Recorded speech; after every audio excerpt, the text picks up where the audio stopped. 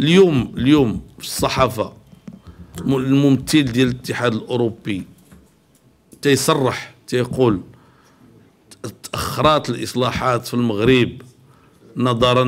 للتعديل الحكومي اللي كانت مضطرة تمر منه الحكومة ديال السابق إلى بن كيران